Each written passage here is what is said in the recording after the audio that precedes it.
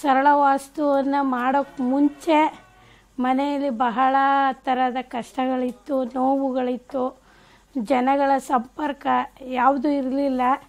ನಾನು ಯಾಕಾದ್ರೂ ಮದುವೆ ಮಾಡಿಕೊಂಡು ಅನ್ನುವಂತಹ ಮನೋಭಾವ ನನ್ನಲ್ಲಿತ್ತು.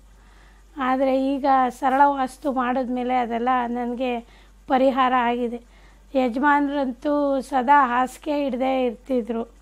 ಎದ್ದೇಳೋ ಸ್ಥಿತಿನೇ ಇರಲಿಲ್ಲ. ಯಾವ ಕಡೆ ತೋರಿಸಿದ್ರು, ಎಲ್ಲಿ ತೋರಿಸಿದ್ರು ಇದು ಕ ವಾಸಿ ಆಗದೆ ಇರೋಂಥ ಕಾಯಿಲೆ. ಇವರು ಈಗೇನೇ ಜೀವನ ಪೂರ್ತಿ ಅಂತ ಹೇಳ್ಬಿಟ್ಟಿದ್ರು. ಇದು ಸರಳ ವಾಸ್ತು ಕಾಂಟ್ಯಾಕ್ಟ್ ಮಾಡಿದ್ಮೇಲೆ ಅವ್ರು ಹೇಳೋದ್ ರೀತಿ ಮಾಡಿದ್ಮೇಲೆ ನನಗೆ ಆರೋಗ್ಯ ಸುಮಾರು ಸುಧಾರಿಸಿದೆ ಈಗ ಮ ನಮ್ಮ ಕೆಲಸ ಕಾರ್ಯಗಳನ್ನು ನಾವು ಚೆನ್ನಾಗಿ ಮಾಡಿ ನಾವೇ ಮಾಡ್ಕೊಂಡು ಹೋಗ್ತಾ ಇದ್ದೀವಿ. ಯಾವುದೇ ಪ ಯಾರ ಎಲ್ಪ್ ಬೇಕಾಗಿಲ್ಲ.